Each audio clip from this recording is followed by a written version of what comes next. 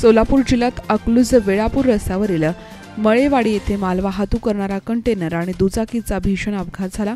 अपघातात दोन जण जागीच ठार तर एक गंभीररित्या जखमी झाला. याबाबत पोलीस सूत्रांकडून अशी माहिती मिळते की ओमकार पांडुरंग दांडगे वयवर्ष वीस हा आई छाया यांच्यासोबत वेळापूरला आजारी असल्यानं आपली बहीण सृष्टी हिच्यासोबत दुचाकीवरनं अकलूज येथील दवाखान्यात उपचारासाठी जात होता. मळेवाडी येथील प्राथमिक शाळेजवळ येऊन माल वाहतूक करणाऱ्या कंटेनरनं जोरदार धडक दिली. यामध्ये छाया दांडगे आणि सृष्टी दांडगे यांचा जागीच मृत्यू झाला.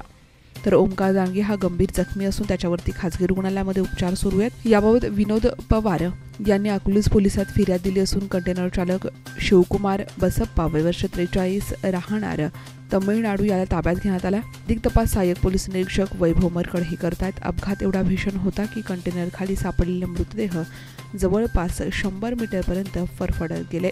मृतदेहाच्या अक्षरशः चिंताड्या झाल्या होत्या. दरम्यान अपघातानंतर बघायची प्रचंड गर्दी जमल्यानं काही काळ वाहतूक खोळंबली होती.